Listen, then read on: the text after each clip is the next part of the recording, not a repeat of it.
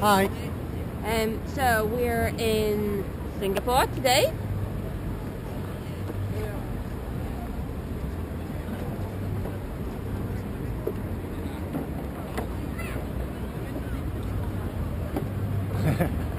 um, so we have been here for a couple of days now, staying at Johnny's place. Um, so Geet has Thank you very much, Johnny. Much Yes. appreciated. We had a fabulous time. Yes, we did. um, so has had the pleasure of uh, exploring Singapore for two days, and I've joined um, uh, him and Johnny just today because yesterday I was in bed because I caught a cold.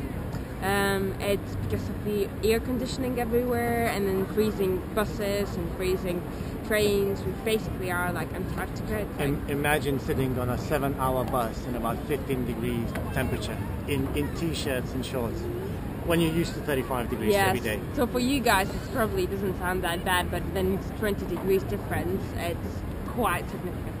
So, anyways, yeah, I'm feeling much much better today, and um, although my voice is a little bit husky still, but um, yeah, we've been exploring Singapore today, and um, our observations about Singapore. Well, it is a um, it is a very modern, a very organized um, city, a very structured city. But um, well, you, you can get a lot of fines here because everything is so well organized and so strict uh, that you can get fines for. You- If you if you eat smelly food on the bus, you get a $500 fine. If you uh, spit in a public place or smoke in a public place, it's up to a thousand dollar fine. If you don't flush a public toilet, again a fine. Uh, you can't chew gum. Um, chewing gum is completely forbidden in the country. And if you try to smuggle drugs into the country, it's death penalty Yeah. without even like a court jurisdiction judging. that. Just death penalty. Um, yeah, but as any other system, um, it actually has flaws. Yeah. So when we were exploring Singapore today, we went to some um, quite nice areas. Um, so Chinatown, um, Arab Street, Little India.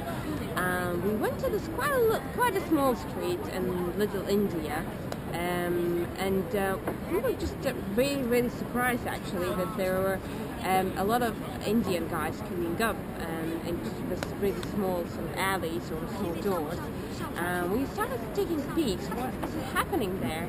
Um, and what we've discovered actually, that street was um, a Little Indian's red uh, light district.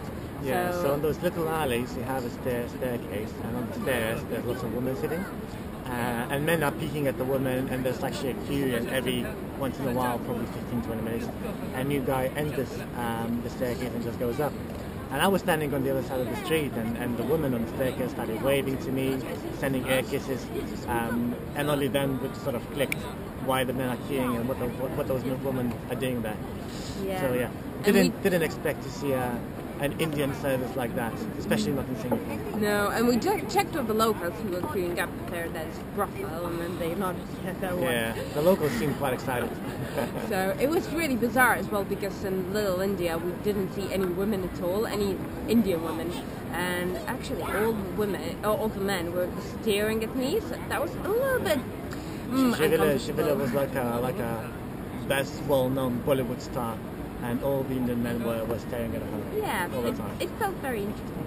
Um, so, anyways, um, apart from that, um, yeah, Singapore was an interesting experience. Um, very modern, very um, organized, very strict. Um, so we are off to actually quite an interesting destination tomorrow, which is Myanmar, Burma, and we'll see in Yangon. So that should be a really, really interesting video coming from there. hopefully, I mean, hopefully these videos are interesting for you guys.